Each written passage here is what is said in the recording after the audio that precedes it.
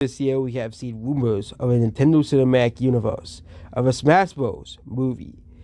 V. People thought this would be very, very unlikely.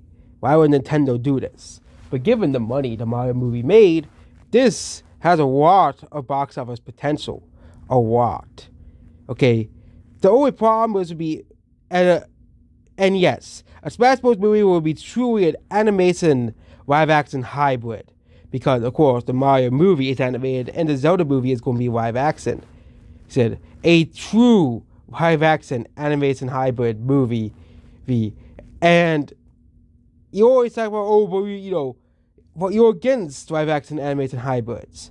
Okay, I I don't understand why you know every movie that is not you know a massive blockbuster is considered, for example, is considered oh, animation live action hybrid, but none of the Guardians of the Galaxy movies out. Alita isn't, or any of the Godzilla movies out.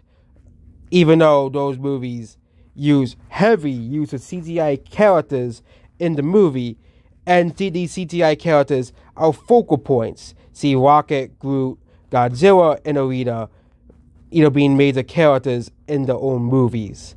These. These. Of course, Mario being an animated movie and all the Mario animated characters being an important part of this Smash Bros. movie. This, will, of course, take a while to pull off, considering the fact that Illumination also has other IPs they have to tend to, including Despicable Me, Me as well.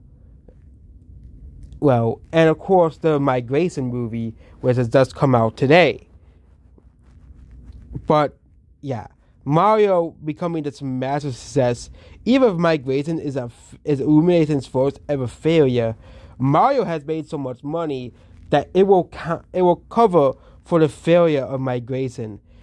If Migration fails to pull off any sort of rigs like Puss in Boots did, did. But given the fact that it is the holidays, it is very unlikely Migration will lose money.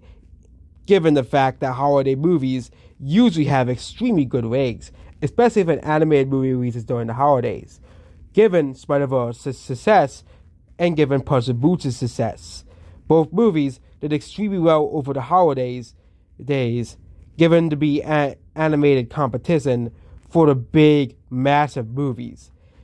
And also Aquaman, given given Aquaman, Wonka are kind of like the tentpole movies. These Migration will be kind of like the animation side offering you usually get during the holidays the massive, the small opening movie that has massive rigs over the holidays. This is, of course, given a record set, given the fact that The Greatest Showman and Puss in Boots are examples of small opening movies that have massive rigs over the holidays. But yeah, Smash Bros. movie is apparently coming alongside of Smash Bros. 6 as well. I wonder, will Illumination have any tie-ins to the Smash Bros. 6, given the fact that Illumination then is working of Nintendo on a Smash Bros. movie reportedly. Could we possibly see Illumination characters in Smash Bros? I know it will break Sakurai's quote unquote non video game character rule, but of course, they don't even have to use Illumination characters. They could as heck use characters from the Mario movie and the Zelda movie, and heck, they could do that and add them as skins for Mario and Link in those games as well you know, make a more animated version of the live action version of Link, and make a more, uh, and of course, add Mario, you know, voiced by Chris Pratt, either by a separate character or most likely as a skin for Mario. And that's about this video here. Goodbye.